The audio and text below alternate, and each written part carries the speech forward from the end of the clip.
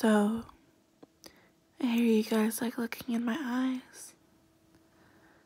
They are quite pretty, I think. They're like a dark mirror. They reflect everything. Maybe you could even see yourself reflected in my eyes, slowly dropping. or maybe just getting lost in them. Because they are lovely, aren't they?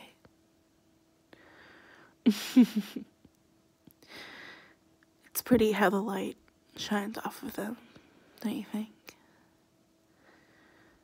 Pretty how they can just kind of capture you, entrance you, kind of suck you in like you don't want to look away. But why would you want to look away anyway? From such pretty eyes. Lovely, pretty eyes. Don't you think? I quite like them. I used to not like them because I thought that brown was boring and I wanted blue eyes instead. But I've grown to love them. And I think you can appreciate them too, can't you?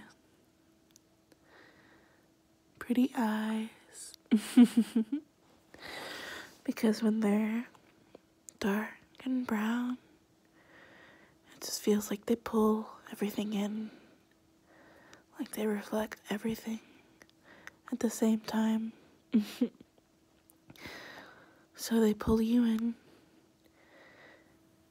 they just suck you in, captivate you, mesmerize you. Pretty little things, aren't they?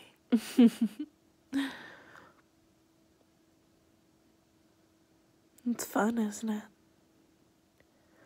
Just watching my eyes.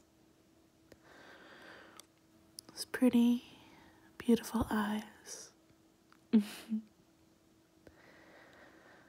very uh, intimate, I think, to just get to stare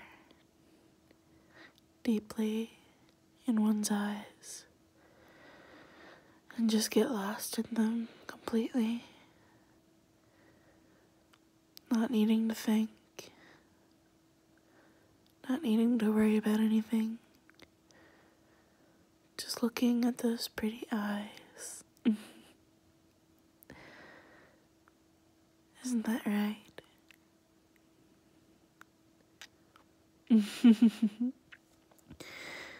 Can you see now how pretty my eyes are? And how lovely it is to get to look into them, to get to observe them, to marvel at them, appreciate them. As all good pets should, after all.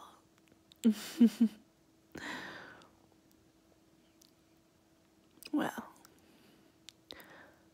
I'll leave you to the rest of your day then.